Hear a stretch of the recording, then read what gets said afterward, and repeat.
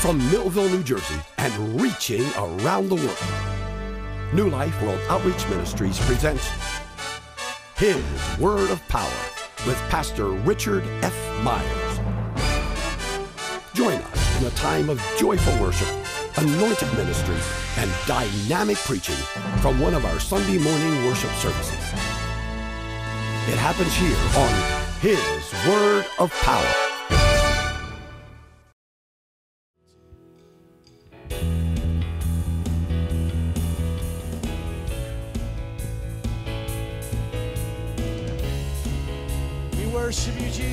Come and wrap your arms around us today, Lord. Yeah. We long for you, oh Lord. Our desire is for your presence. Oh, yeah. Come on, God, I long. Oh, God, I long for you. My God, I thirst.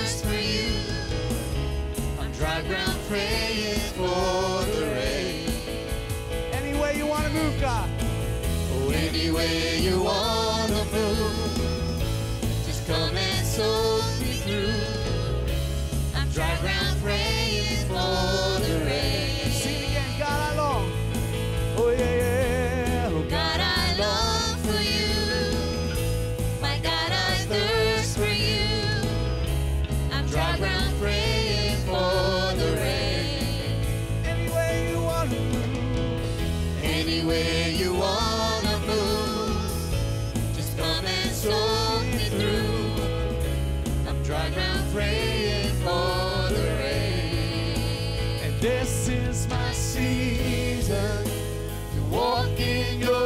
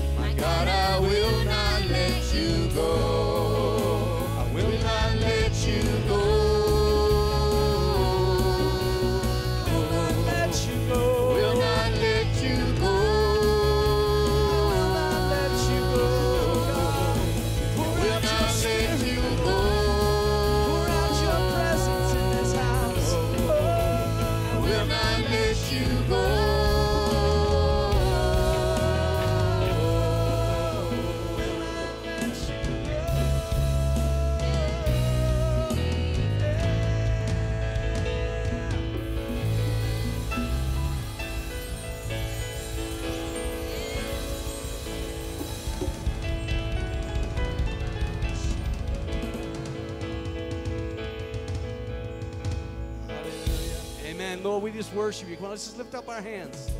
Jesus, we welcome you into this place. Mm. Season of outpouring of your presence. This is a season of outpouring of your presence, God. Our hearts are hungry, Lord. Our hearts are thirsty, Lord. Send your Holy Spirit like you promised, like you promised. Oh, yes, Jesus. It's our desire, God. Send out your presence. Pour out your spirit.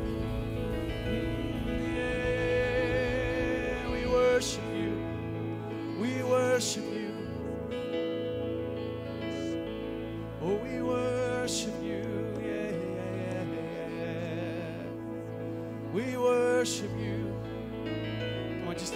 Listen, lift him up. Oh, we worship you, Jesus. Oh, we worship you, Lord. Come on, let your voice go up.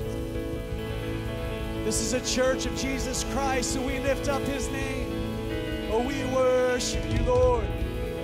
We worship you, oh Lord. Yeah, yeah. We worship you, Lord. Sa-na-na-na-na-na-na-ma-ma-ma-se-me-ya-na-na-nas. Worship you, oh God.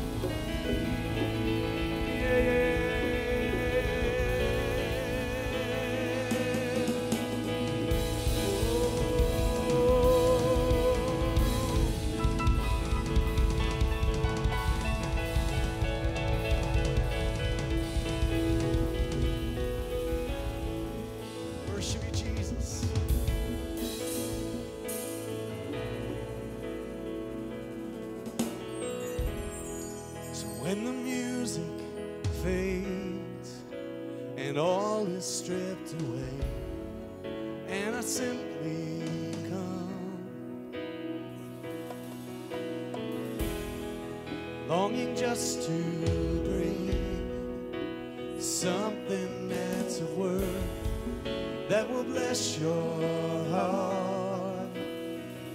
Bring you more, God. I'll bring you more than a song, for a song in itself is not what you have required. Search much deeper, God. You search much deeper within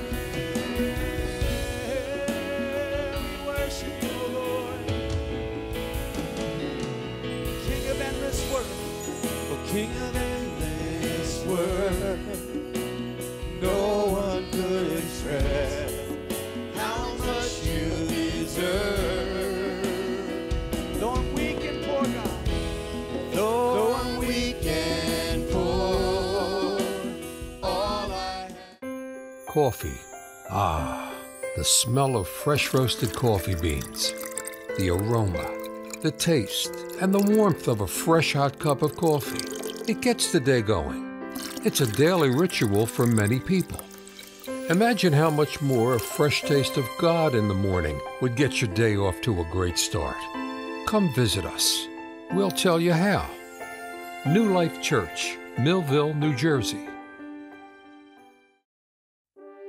The United States of American. It was built on the pioneers of freedom.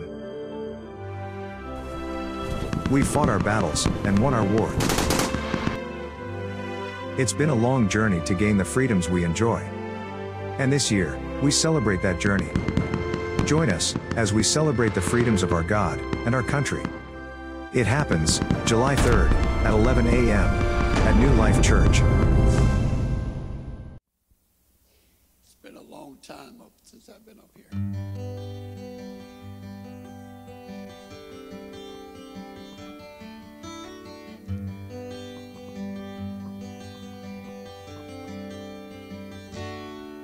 Well, it was battered and scarred, and the auctioneer felt it was hardly worth his while to waste much time on this old violin. He held it up with a smile. Sure ain't much, but it's all we got left. Guess we ought to sell it too. Now who'll start the bid on this old violin? Just one more and we'll be through. One, give me one dollar, we'll make it two. Only two dollars, we'll make it three. Three dollars twice, now that's a good price. Who's got a bid for raise up your hand and don't wait any longer. This auction's about to end. Who's got four, just one dollar more? Bid on this old violin.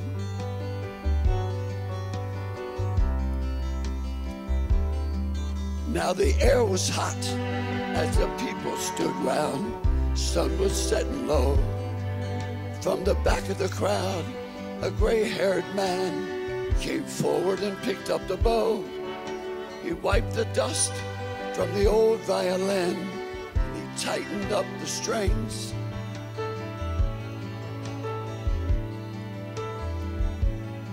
And then he played out a melody pure and sweet, sweet as the angels sing.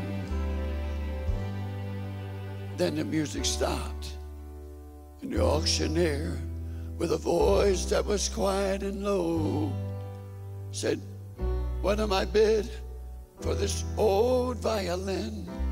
And he held it up with a bow. Then he cried out, One, give me one thousand, who'll make it two? Only two thousand, who'll make it three? Three thousand twice, now that's a good price. Who's got a bid for me? The people called out what made the change. We don't understand. The auctioneer stopped and he said with a smile, it was the touch of the master's hand.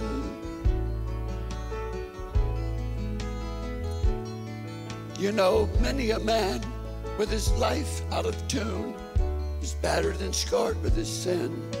He's auctioned cheap to a thankless world, much like the old violin.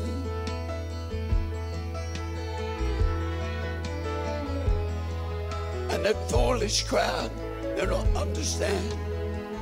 When the master comes, the worth of the soul and the change that's brought just by the touch of the master's hand. And he cries out, One, give me one thousand, who'll make it two? Only two thousand, who'll make it three? Three thousand twice, now that's a good price. Who's got a bid for me? The people called out, but made the change. We don't understand. The auctioneer stopped and he said with a smile, it was the touch of the master's hand. It was the touch of the master's hand. It was the touch of the master's hand.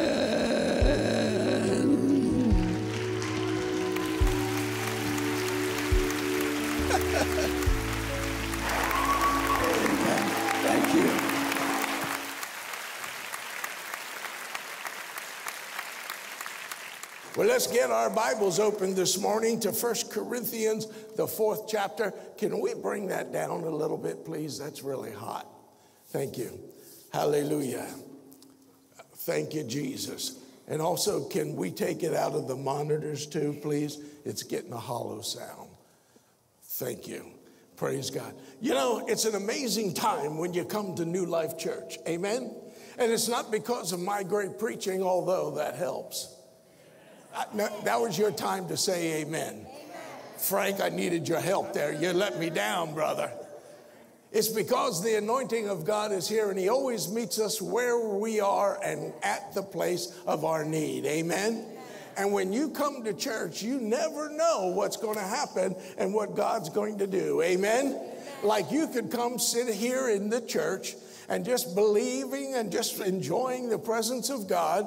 And then all of a sudden, the pastor says, Sarah, come up here.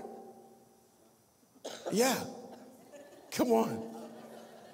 As she walks with great fear and trembling. You know what happened today?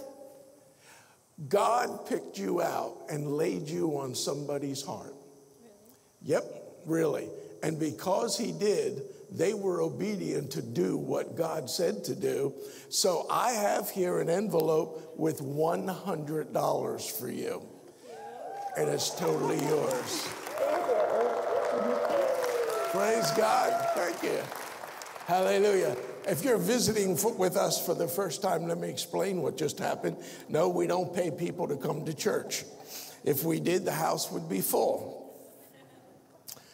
But what has happened is God moved on someone's heart to bless Sarah today. It was done anonymously. No one will know who did it. It will be between that individual and God, and it will be a blessing for Sarah. There will be no tax deductible receipts or anything. It was given totally out of the pure love that God has for his children. And one of his children were obedient to be the vessel of that love. Amen? Amen? So, whenever you come to church, you never know what God might do. Amen? Amen? Let's get to the Word of God this morning. We are looking here at First Corinthians, the fourth chapter, and we're going to read just one verse. And could you bring that down a little bit more, please? It's a little bit hot yet. Thank you. In the 15th verse of First Corinthians, the fourth chapter, we read these words for though you have 10,000 instructors in Christ, you have not many fathers. For in Christ Jesus, I have begotten you through the gospel. Let me read that again. For though you have 10,000 instructors in Christ, you have not many fathers. For in Christ Jesus, I have begotten you through the gospel. Let's bow our heads. Father, I thank you for your word today. I thank you, Lord, that as we study your word, you will bring to us revelation. You will bring to us an understanding. You will bring to us an open heart that we might receive and hear what the Spirit of God says. And so I thank you today, Lord. I thank you for everything that you have for us in the mighty name of Jesus. And all of God's people said, Amen. Today, I want to share with you more than teach you, although hopefully you'll learn something. I want to do more than preach to you today, and hopefully it will stir you. But what I really want to do today is talk to you about something that is of great depth and great intimacy with the Father. And what I want to share with you today is coming from my heart. And so I want to talk to you about what God is saying to us in this passage of Scripture.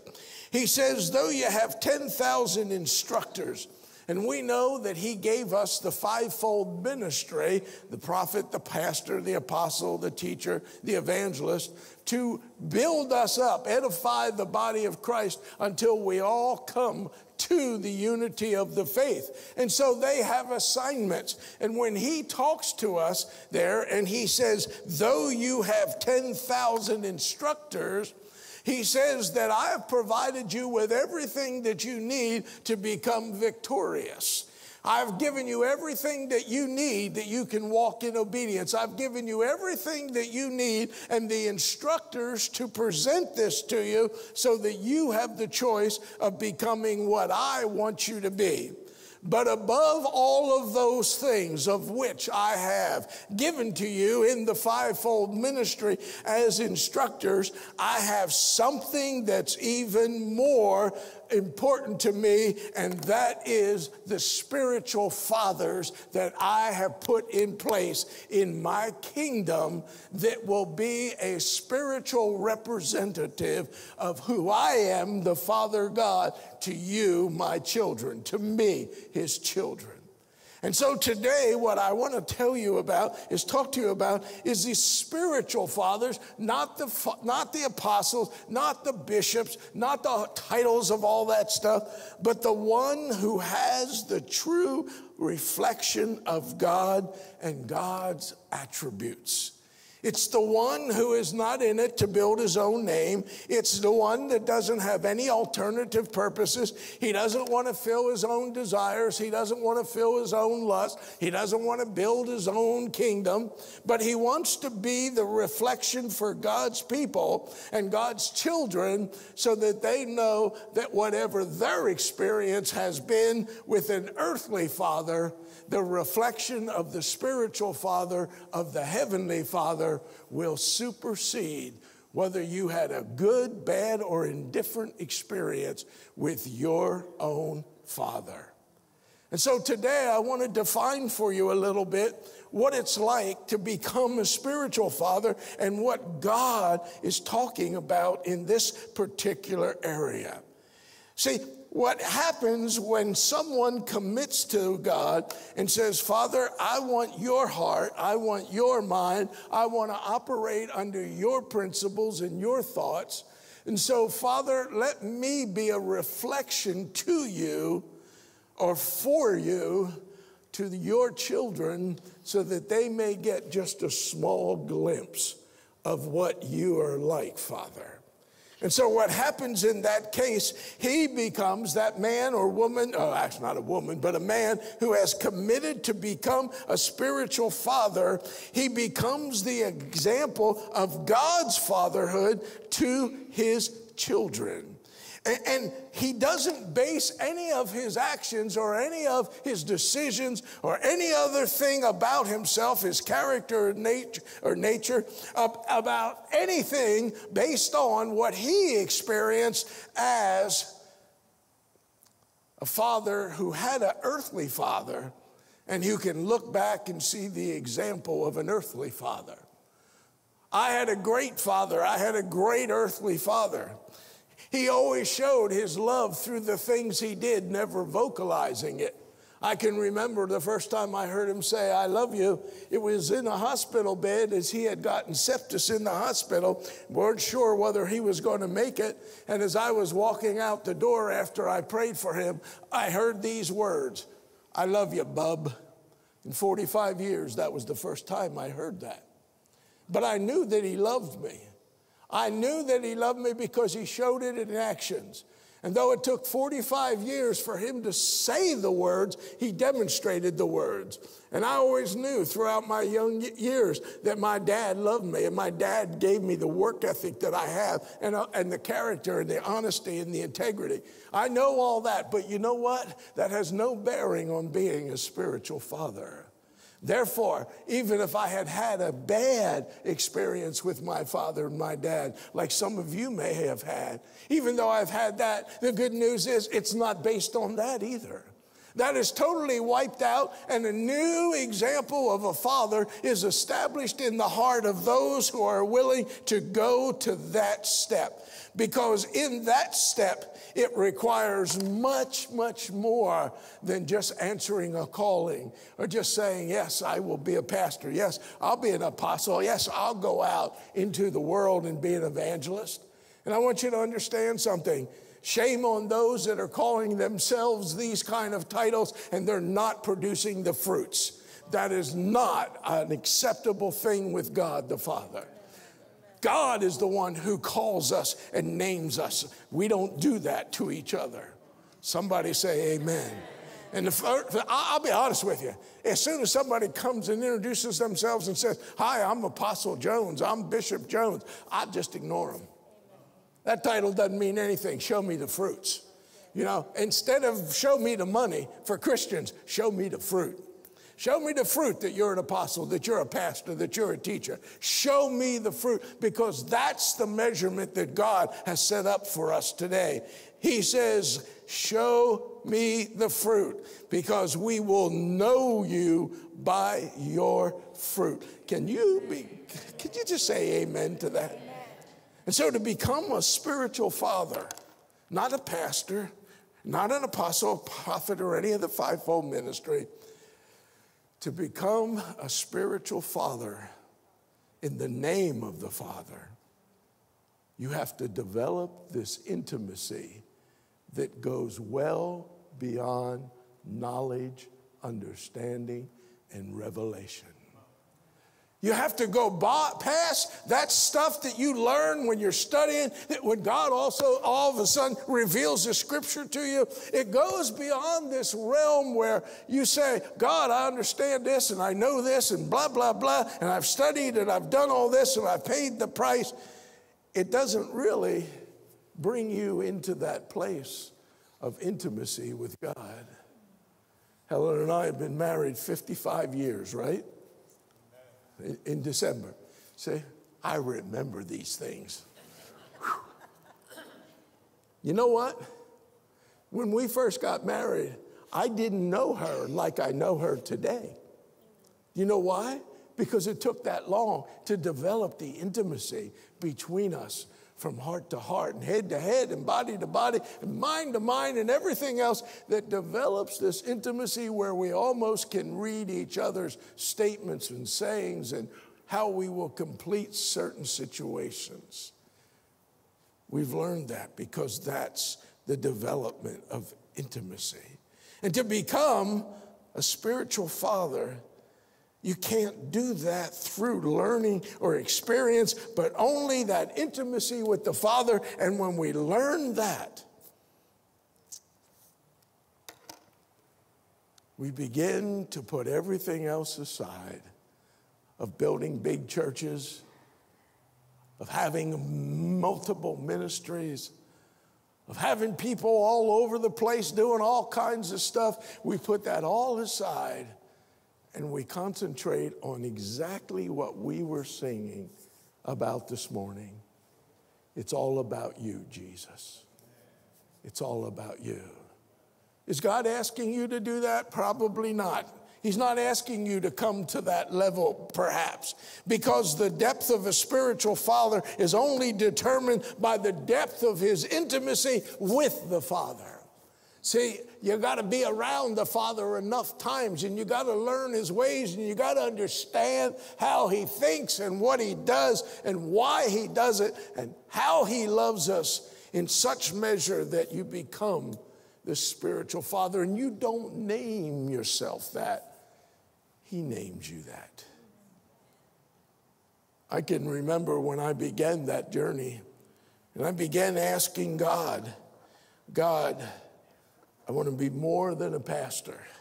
I didn't know anything about this spiritual father stuff. I just knew that I wanted more.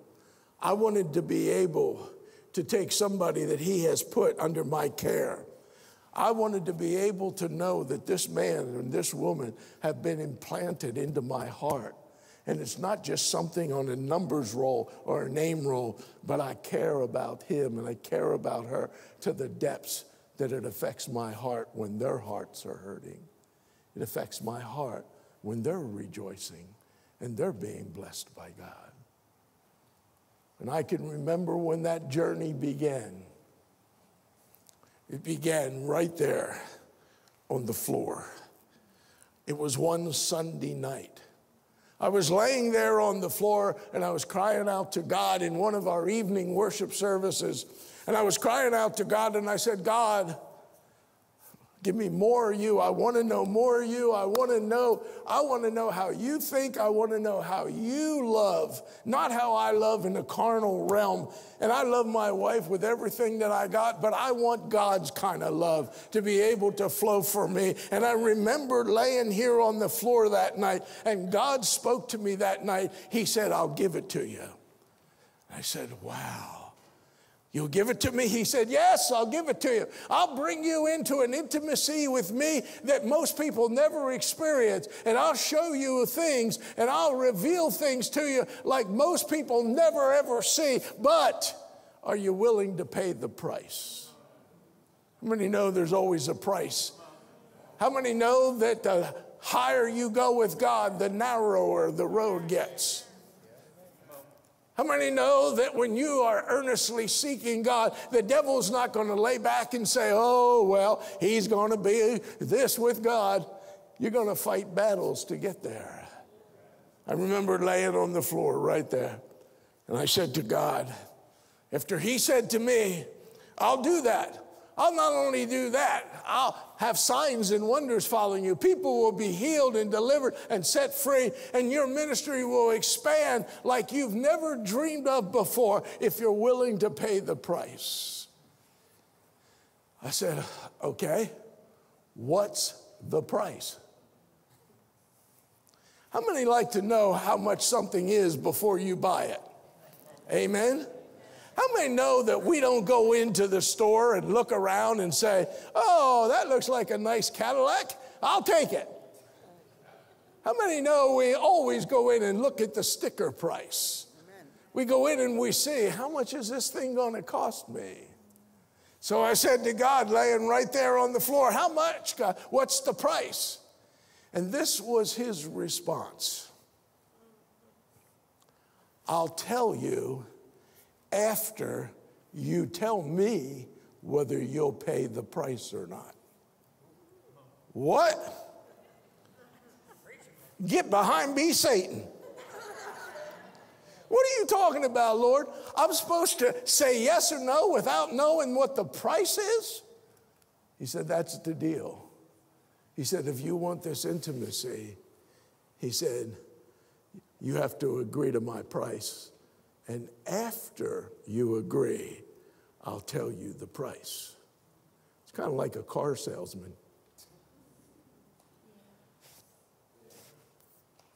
You go in to buy a car and you see the price, and by the time you're done, you don't know what you've paid.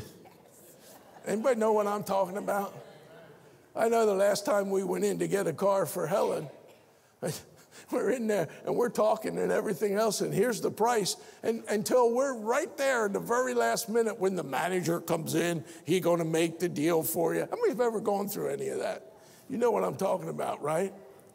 So I'm waiting for the Holy Ghost to come in and make the deal with me there on the floor. I want you to know that was not an easy decision. I want you to know that it was the depths of my being that had to make that decision, knowing that I wanted more of God, but didn't know the price that I would have to pay for it. So, after some wrestling, and that service lasted about an hour and a half, I guess, that night, and I would say that a good hour we wrestled together. I felt like the man of God who wrestled with the man, the angel of God, until he touched his hip. Thank God he didn't touch my hip. That's all I can tell you. Well, actually, he did for three years. I walked in pain for, yeah. So I finally said to God, okay, I'll pay the price. It's a deal. Now, I want you to know something. That was probably one of the hardest decisions I ever made with God. I'm not this superhero that can just say, Yes, God, I will pay the price. I, am not a Peter. I don't want to get accused of denying Christ after saying, Oh, I'll go with you all the way, even to death. I'll also tell you that once I said yes, I was frightened to what the price was. So I said, Okay, God, we got a deal. What's the price? He said, I will draw you closer than you've ever been with anything or anybody else in your entire life. I will reveal truths to you that no other people who have maintained at a lower level will ever expect to hear. Here's the price. You will lose your name. Your name will no longer be associated with anything that I do through you. So the moment you lay hands on someone and they receive an instant miracle, they won't remember you, they'll remember me. Now that sounds wonderful. That sounds tremendous. But I want you to get the significance of what that means. Close your eyes with me. Get the bats ready. When I tell you in point, you hit the people I tell you. Okay? Just close your eyes a minute. I'm going to say a name John Parker. Immediately, when I said John Parker, the picture in your mind focused on this John Parker. You immediately thought he was a white man. He had red blood. You didn't think of that. You, thought of the bald headed old black man who sits up here and prophesies. You had a picture of him because I spoke his name to you. See, our identities are in our names. Who we are are in our names. Let me tell you something. If you're a liar, if I say your name to somebody who knows you, the thought that they will have is, oh, yeah, he's that liar. If you're a man or a woman of God and you demonstrate that, you know what'll happen? When somebody says your name, they'll say, oh, yeah, man, that's a woman or a man of God because our name identifies who we are, what we are, how we act, and how we talk, and it puts a mental picture into other people's lives. So my identity and your identity is locked up in your name. And imagine if God said, Your name doesn't matter anymore, your identity is gone. And they will only remember what I did for them. That was probably 15, 20 years ago, laying there on that floor. And I want you to know I have never, ever regretted making that decision for him. Because my name means nothing, but his name means everything. And when we begin to realize that as children of the Most High God, we suddenly lose this thing that drives us to be something, that drives us to have our name out there, that drives us to have our identity, our reputations, and everything else. It doesn't matter anymore because of the intimacy that has created in you with the Father God has taken you to a new level. And when you get to that level, you'll never ever build your ministry on the backs of other believers.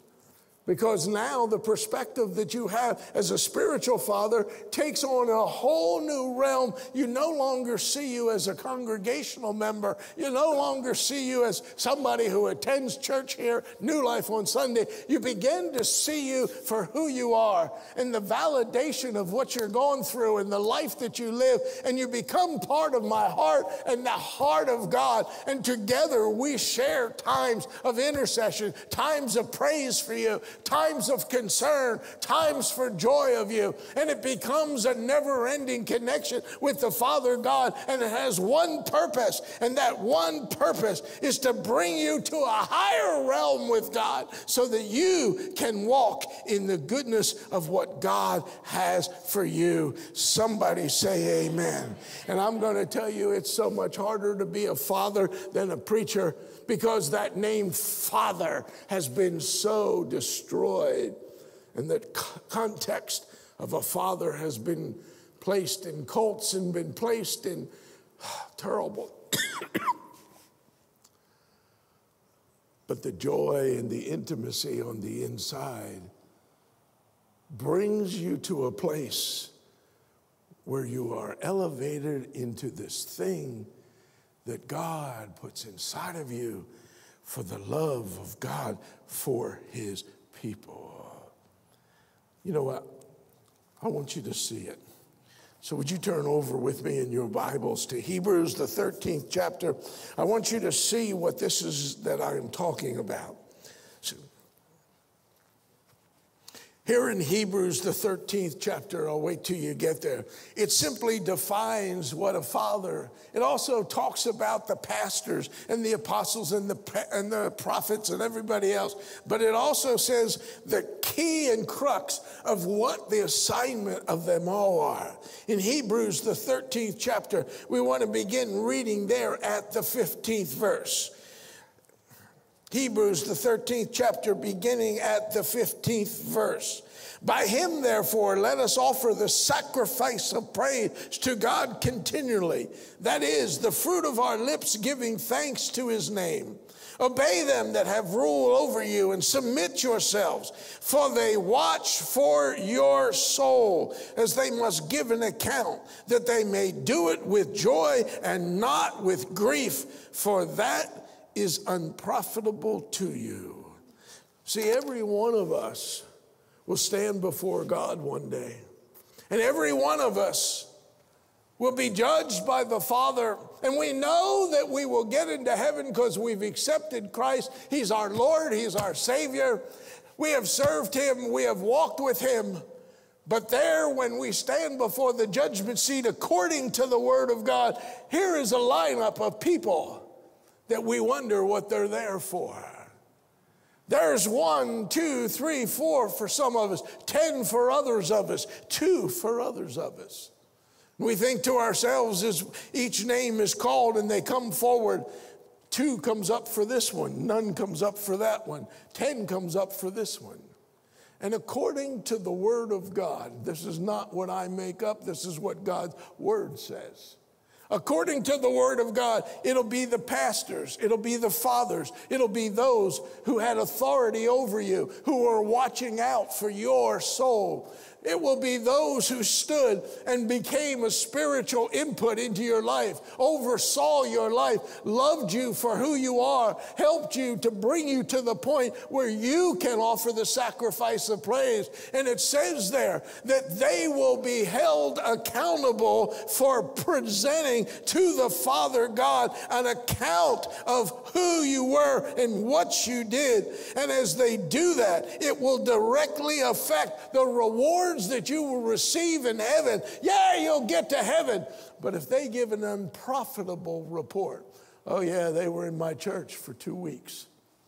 Then they went out and they lived back like they used to be. See, what most believers don't realize, and sad to say, many pastors, apostles, and prophets, and bishops, and everything else don't realize how serious God takes it for us to watch out for your soul. And the Bible says very clearly there we will give an account, and may they do it. Look at this. May they give that account with joy and not with grief, because it will be unprofitable to you. Wow, when I began to think about that, when God began to reveal that, I sat down and I thought about all the pastors that Helen and I have been under. And then on that judgment day, they're going to be lined up, or however God does it, I don't know. Maybe they recorded it in his book, I, I have no idea. But they're going to give a report as to me, and of course to Helen. And as I began to look back to all the different pastors that we sat under, and there wasn't a lot of them for us. There's maybe five or six, I guess, for our whole life. Together, anyway, right? I began to look back on some of the pastors that were going to stand before God on that day when I do and give an account of me. And I began to think how many of them are still alive and how many of them have gone before me. And I began to ask myself, wonder which one of those pastors would take a bribe. How much could I pay him for a good report? You really think I thought that? Of course not. But you're tempted. You're tempted to influence them because they'll be given the report. Will you wind up in heaven? Of course. As long as you believe that Jesus is the Son of God and that you've accepted Him and asked Him to forgive you of your sins, you will wind up in heaven. But your rewards will be directly affected by the works that you do and the reports that he, your pastors, give. And you can tell whether or not the report's going to be good. It's really simple. There's some simple guidelines quickly, and I don't have much more time, but there's some simple guidelines that can help you. I want to give you one today. I want to tell you whether or not you have a pastor or a father or a bishop or an apostle, whatever their title is. I want to tell you one of the greatest signs that you can know whether or not you have a spiritual covering. I will make that one key thing available in a special tape that I have for you for $10. And if you order today, there's free shipping on it, and we'll give you two for just the price of an additional shipping charge. Here's a simple way to know whether you have a pastor or spiritual father. When it's time to make a life changing decision, when it's time to make a decision that will alter or change the course of your life in some direction, way, or form, do you ask your pastor to pray and be in agreement with you? Or do you tell him what your decision is? If you go and say, Pastor, Father, whatever it's called, I'm getting this stirring in my life. Would you pray and see if it's God? Would you pray and get yourself in agreement with me so that I can know for sure that I have two witnesses, because in the mouth of two witnesses, every truth is established? Or do you just do it and tell me? I can't tell you the number of people I've had come in my office and say, Pastor, we're leaving. Pastor, we're doing this. Pastor, we're going to go do that. And not once did they say, you know, God seems to be stirring. And there, there has been people that have done that also. Pastor, there seems to be a stirring in me. Could you agree with me? Could you see what God is saying so that I'm in agreement and I don't get hoodwinked by the enemy? And if you are in that camp where you say, Pastor, plus along with your other spiritual counselors and everything, would you agree with me and see what God is saying? Then you have a pastor who you've submitted to and is watching out for your soul. There's a lot more. We'll cover those in the next session. But I want to leave you with this. As a spiritual father,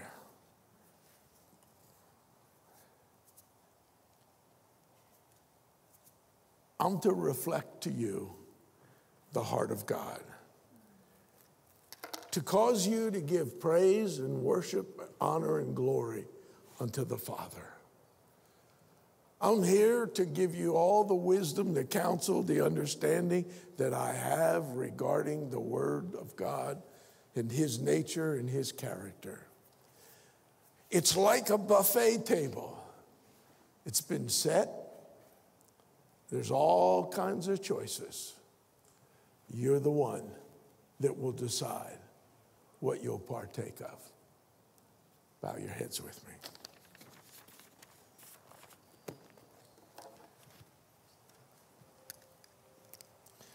Thank you, Jesus.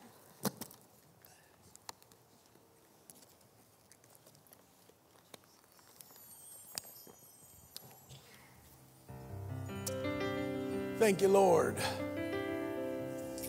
Thank you, Jesus.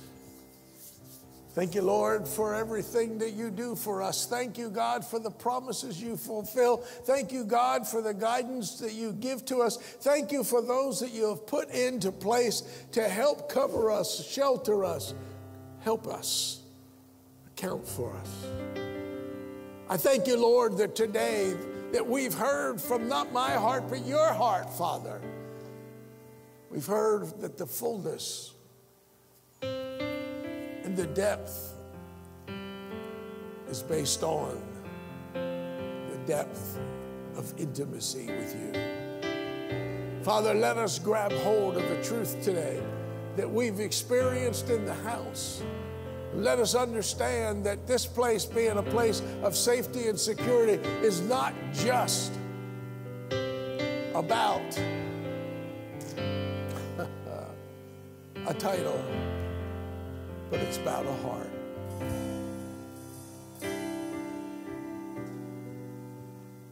So I pray right now, Father, that that heart, that heart is transmitted to the hearts of your children. And I give you glory for that in Jesus' name. Your heads are still bowed, your eyes are still closed. Maybe there's somebody here this morning. Maybe there's somebody here this morning that you haven't made Jesus Christ the Lord of your life, and you don't have a spiritual father looking out for your soul who will give an account. Maybe you did at one time, but you kind of walked away. And so today, before we close, I want to pray one last prayer. And I want to include anyone here this morning that you've never, ever made Jesus Christ the Lord of your life, or you did, but you got detoured in life and you kind of left. But you know today you need to get back under the Father's care and have His heart transplanted in yours. So, as I'm ready to pray this prayer this morning, if you're here and you've never made Jesus Christ the Lord of your life, or you did, but you got detoured and you know you need to come back, right there where you're sitting, would you slip your hand up and I'll include you in this final prayer that I'm praying? Anyone here this morning? that You just need to make Jesus the Lord of your life, or you need to come back to Him. Father, if there is one here this morning, for the close of this service. I thank you, Lord. I thank you, Lord, that they'll rejoice, for they have met someone in this building who would give them the key to the kingdom of the living God. I thank you for that now in Jesus' name. Amen and amen. Stand up to your feet with me. Hi, this is Pastor Myers.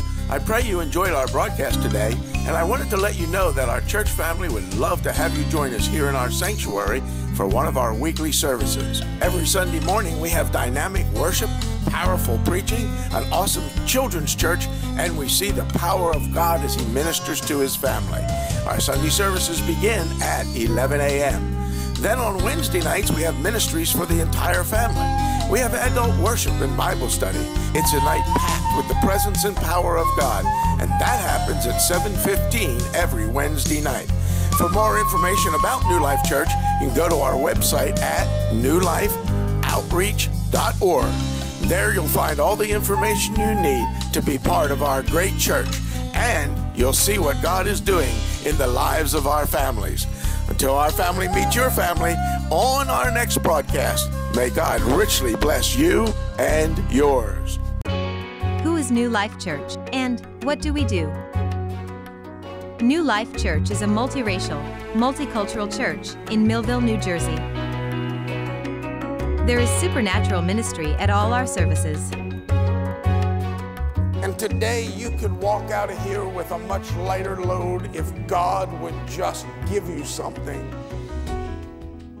This morning I had I had uh, a gift that God uh, had given someone, and I didn't know who it was supposed to go to. In fact, there's no name on it or anything.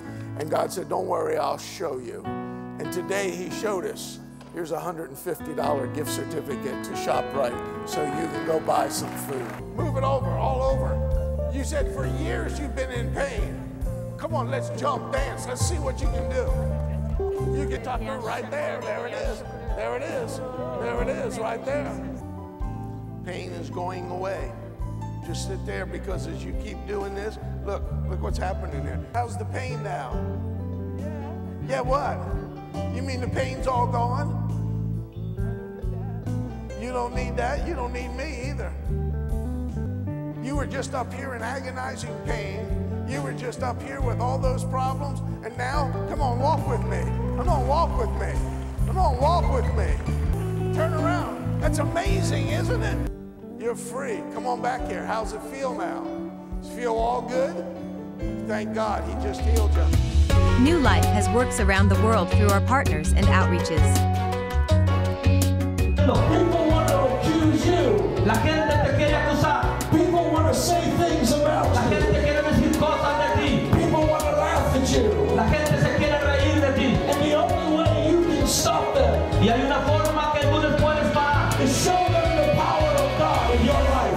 Our mission outreaches reach around the world into 63 nations. From water well drilling to churches, Bible colleges, orphanages, elementary schools. New Life Church is constantly reaching around the world to share Jesus Christ.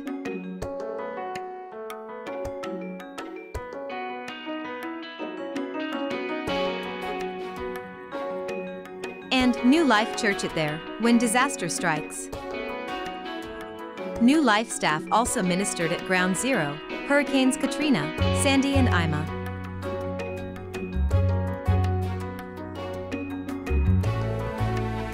We are helping with outreaches during the COVID pandemic. And our latest project, a leper hospital, clinic, home, and church. Abundant uh, uh, New Life Church. This is our church.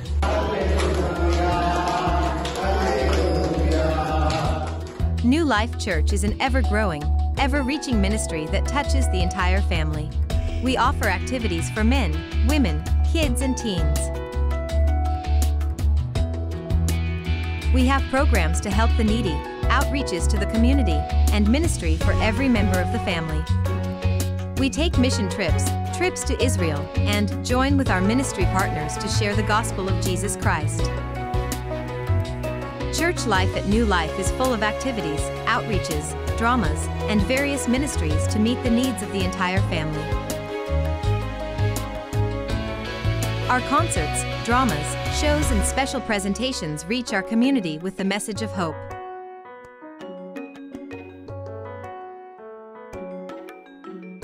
Thousands have come to these special presentations to be uplifted, encouraged, and hear the Word of God. New Life Church is truly a place of fellowship and family. It's a church where families flourish for all cultures, races, and backgrounds. New Life Church, the church of many colors. Why not come visit us? Perhaps even this Sunday.